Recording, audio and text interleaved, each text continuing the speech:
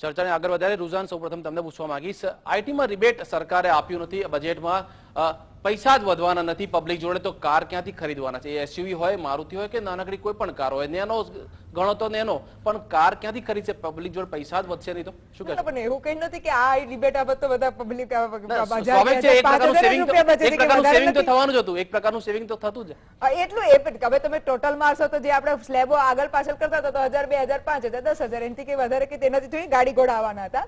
એટલે coming back to the fact of the matter કે આ પીપલ આર નોટ રિયા જે પેલા પેલા પોવર્ટી લાઈન વાળા મિડલ ક્લાસ વાળા હોય છે એ લોકો ફૂડ માટે એના માટે પૈસા છે. તો ઇમ્પોર્ટન્ટ એસ્પેક્ટ જે આપણે ડિસ્કસ કદાચ નથી કર્યો કે જે ફૂડ ઇન્ફ્લેશન કંટ્રોલ નથી આવ્યું એ આઈ ડોન્ટ નો કેવી રીતે આવી શકશે કારણ કે એ લોકોને ડાયરેક્ટ હિટ થઈ રહ્યું છે. અને એના માટે શું કરવું જોઈએ? મારી પાસે જવાબ નથી I am not an economist but what I am to try to tell you કે એ ગવર્મેન્ટે it should have taken that seriously and seen to it may be they are depending on that એ લોકોનું પેલું જે ફૂડની પેલી કઈ scheme કરી છે ને એ લોકોએ? I don't remember the name શું કહેવાય સ્કીમનું food food security food security bill પર ડિપેન્ડ કરતો હતો તો મને ખબર નથી પણ this is very important which we have to talk એક બીજો પોઈન્ટ મારે એમને કેવું હતું કે જ્યારે આપણે ફ્યુઅલની વાત કરી તો તેરસ એટલે ગેસની વાત કરી તો sixty five thousand crores fuel માટે સબસિડીની અહીંયા એ લોકો એ કરી છે શું કહેવાય પ્રોવિઝન કર્યો છે. એટલે I am sure government is looking કે આપણે એ લોકો આપણને સબસિડી આપશે ને જે બી આ બધું લેવા લેની દેની છે થશે. But coming back to the basic point કે જે આપણે આ વખતનું વોટ ઓફ અકાઉન્ટની જે ડિસ્કસ કરી રહ્યા છીએ તો બેઝિક બેઝિક છે દેટ કે I would rather call it a general and normal thing we don't expect much and I think we are okay with that there is a little bit of a feel good factor to be very honest કારણ કે અગર આજે મને કહેવામાં આવે છે કે આપણું ફિસ્કલ ડેફિસિટ જે at least as a common man મને એવું હતું કે આપણે બિલકુલ કંટ્રોલ બહાર ચાલી ગયું છે.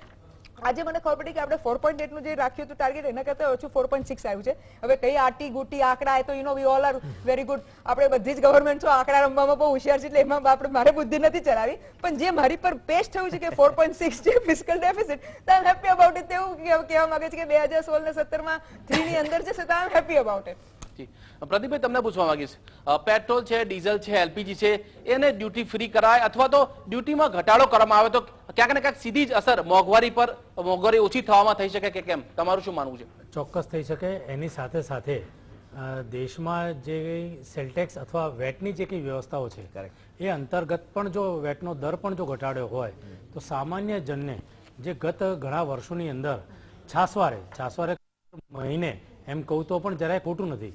એ પ્રકારનો જે વધારો થતો ગયો છે એમાં ચોક્કસ એને રાહત મળી હોત અને જે ચર્ચાનો આપણો સૂર છે કે સામાન્ય માણસને શું ફાયદો થયો?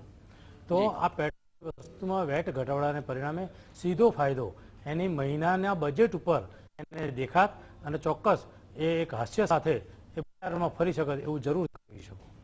સુનિલભાઈ પારેખ તમને પૂછવા માંગીશ. જે રીતે જોવા જઈએ તો ફ્લેશબેકમાં જે મોરારજી દેસાઈની જો વાત કરીએ તો મોરારજી જીવન જરૂરિયાતની જો એમણે સૌથી વધારે બજેટ આપ્યા છે જીવન જરૂરિયાતની ચીજોમાં ઘણો બધો ઘટાડો કર્યો હતો જે ભાવ ચાલતા હતા જે બજેટમાં ખારો- ખાસો એવો પબ્લિકને હિતકારક નિર્ણયો લીધા હતા. શું આ સરકાર એવા નિર્ણયો ન લઈ શકે અને જો નથી લીધા તો એનું પાછળનું કારણ તમને શું લાગે છે સુનિલભાઈ? સૌથી મોટું કારણ એ છે કે જે ડેફિસિટમાંથી છૂટવા માંગતા હતા તો એની પાસે કંઈ રાહત આપવા માટે કંઈ સ્કોપ જ નહોતો. જેમ તેમ કરીને બધું ઇમ્પોર્ટ કંટ્રોલ કરી સીએડીમાં ગોલ્ડ કંટ્રોલ કરી અને જે રીતે આપણી એક્સચેન્જ રેટની સ્ટેબિલિટી આપી છે અને સાથે સાથે ફિસ્કલ ડેફિસિટને કાબૂમાં લાવ્યા છે એટલે એમાં જરાય એને કંઈ ફેરફાર કે કંઈ છૂટ આપવાની કંઈ ગુંજાઈશ નહોતી. સાથે સાથે મારે જ કેવું છે રુઝાન સાથે એકદમ સંમત છું. ઓફ એકાઉન્ટમાં ટ્રાન્સફોર્મેશનલ લોંગ ટર્મ ટેક્સ કટ્સની કોઈ પ્રાવધાન જ નથી કોઈ પ્રોવિઝન નથી કોઈ ગુંજાઈશ જ નથી. આ તો ફક્ત કર્મચારીઓના ચાર મહિનાના પગાર અને સરકાર ચાલે એના માટે વોટ ઓફ એકાઉન્ટ હતું. એમાં થોડું ઘણું ઇલેક્શન